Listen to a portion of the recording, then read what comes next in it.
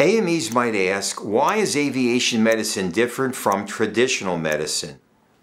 Other clinical specialties primarily deal with abnormal physiology within a normal environment, where aerospace medicine deals with normal physiology within an abnormal environment. So how abnormal can a pilot's physiology be and still be safe to fly? The cognitive and physical demands placed on a pilot operating in an aviation environment are much more challenging than a terrestrial task. AMEs need to assess the aeromedical implications of a pilot's physiology relative to those increased demands required by operations in the flight environment.